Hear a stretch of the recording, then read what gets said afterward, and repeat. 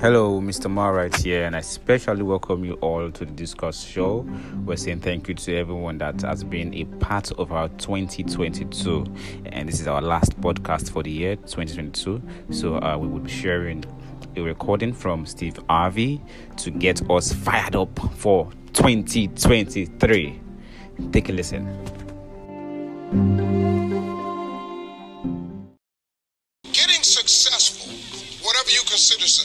If it's rich, whatever, it's not a magic trick.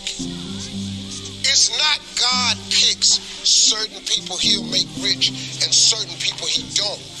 He gives all of us as his children the power of choice. You have a say so in that. You can decide to be rich, and with God's help, it's highly doable. But you first have to think between successful people and non successful people is here. I'm no better than none of y'all. I'm not a better person than you. I'm not a better Christian than you. God don't love me more than you. None of that. If you want to be successful, you have to change this. This has to change. Listen to me. What makes it hard is your lack of belief that it can happen for you. The fact of it is, though, it's very doable. See, if but you got to change though. If you keep doing what you've been doing, you're gonna keep getting what you've been getting. So if you're at a place in your life and you ain't happy with it, you have to change some things. But you have to make a conscientious decision that you're going to change. And it's not dependent on anybody else. It don't matter what your mama think. It don't matter what your coworkers think. It don't matter what your siblings think. It don't matter what your children think. It don't matter. They have nothing to do with it. This decision is yours and yours alone. It's two people born in a hospital every day. It's a person that's born in a hospital that's going to get a job, and somebody born in a hospital that's going to give them a job. You get to decide which one you're going to be. You get to decide. Let me tell you something. You get to decide if I'm going to be rich, poor, mediocre, plentiful, happy, sad. You, you have a decision to make.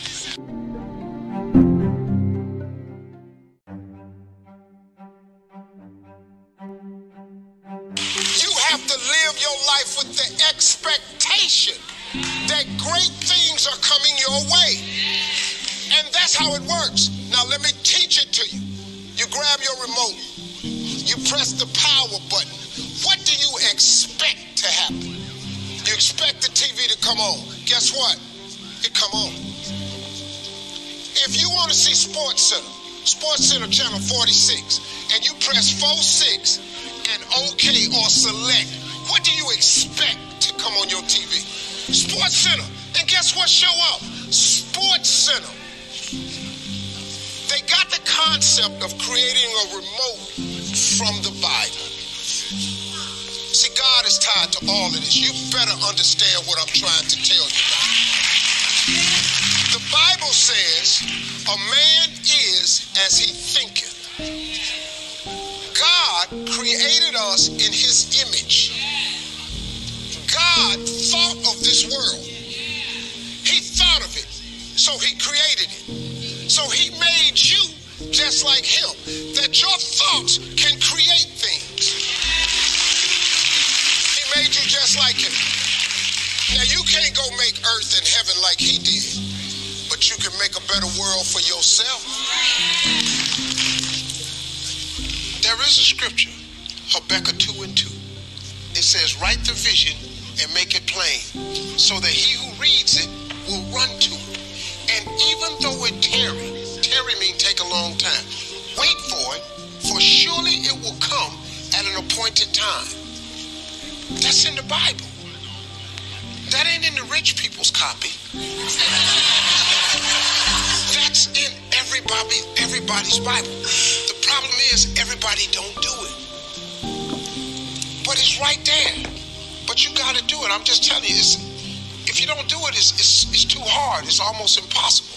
That vision board has changed life. Everything I put on my vision board, I get. Everything. Now you have to understand something. It's not going to come when you want it to come. It comes at an appointed time. That's the trick.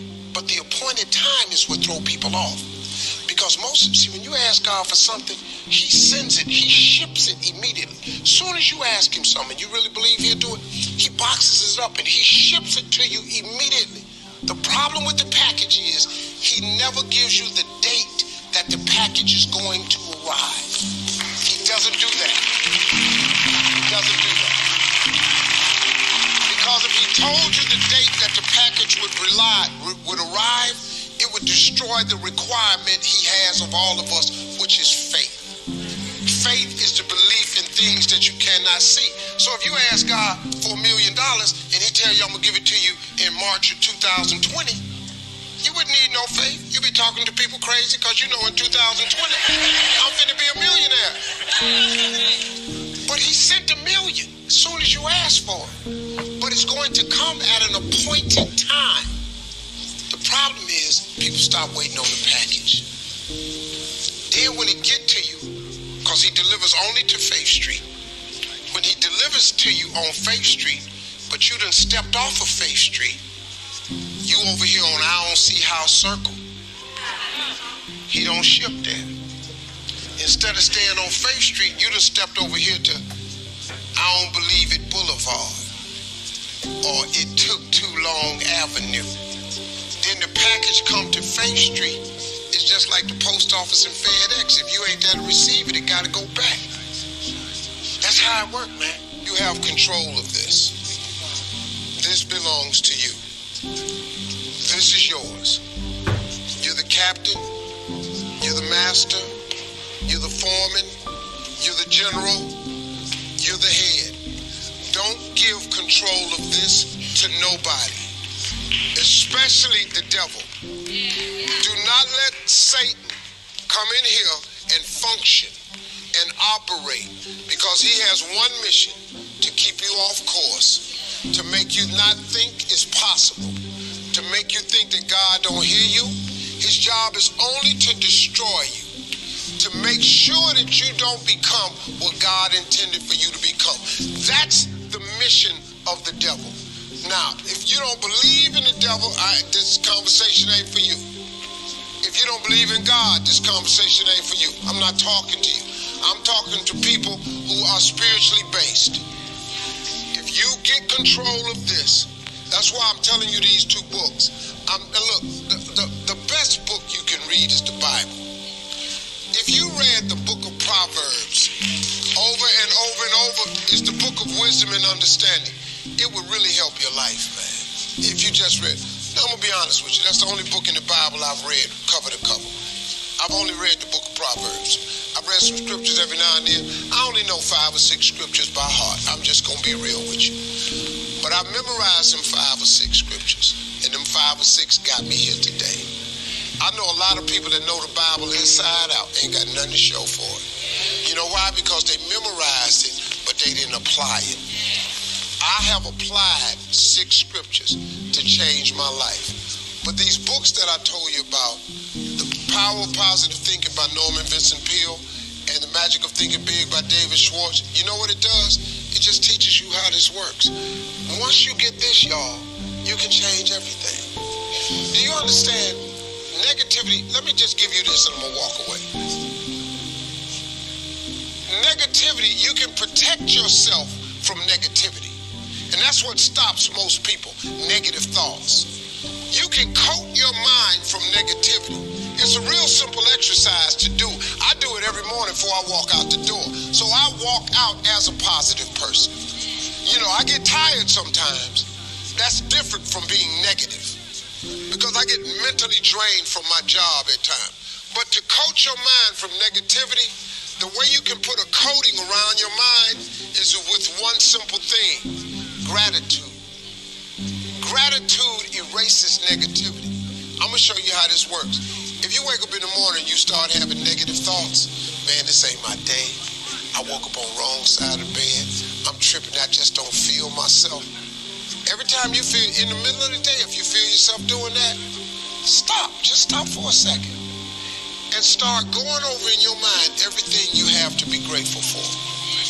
Not everything you want, everything you already have. Because what you have is substantial.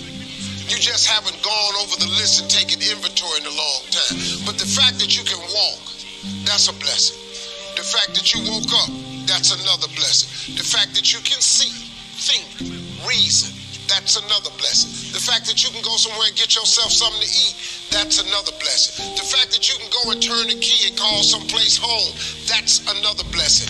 The ability to dream is a blessing. The, the, the fact that you have an opportunity to get it right is another blessing.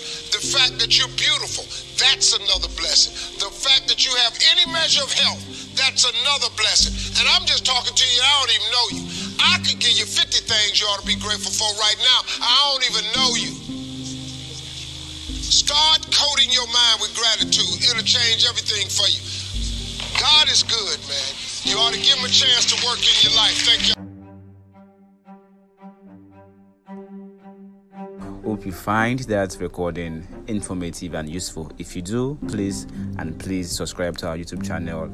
It will be on YouTube. You can watch over and over again. Please subscribe, like, comment, share with your friends and family, share on Facebook, share on YouTube, share on WhatsApp, and also don't forget to follow us on Twitter as well. You can like our page on Facebook, gives off um, give us a thumbs up and every of our posts, share with your friends and families, do all this good stuff for us. We thank you so much and we're saying Happy New Year to you and cheers to a bigger and greater 2023. Our first podcast for 2023 will be coming shortly. We have TD Jakes in the building. Yeah.